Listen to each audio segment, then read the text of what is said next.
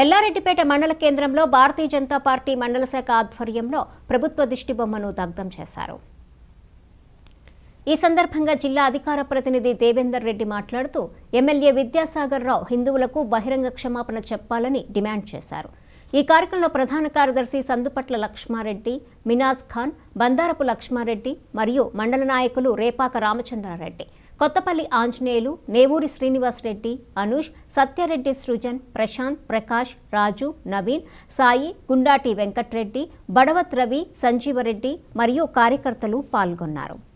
కూడా మీ ముఖ్యమంత్రి గారు కరీంనగర్లో హిందూగాల్లో బంధుగా అగౌరవంగా మాట్లాడినట్టయితే తగిన బుద్ధి చెప్తామని ఎల్లారెడ్డిపేట భారతీయ జనతా పార్టీ తరఫున మేము డిమాండ్ చేస్తున్నాం. లేని ప్రభుత్వం వెంటనే స్పందించి తన విద్యాసాగర్ రావు పె- విద్యాసాగర్ రావు గారు అదేవిధంగా ముఖ్యమంత్రి గారు క్షమాపణ చెప్పాలని భారతీయ జనతా పార్టీ తరఫున మేము డిమాండ్ చేస్తున్నాం. లేని పక్షంలో రాష్ట్ర వ్యాప్తంగా పెద్ద ఎత్తున ఉద్యమాలు చేపడతామని ఈ సందర్భంగా తెలియజేసుకుంటున్నాం.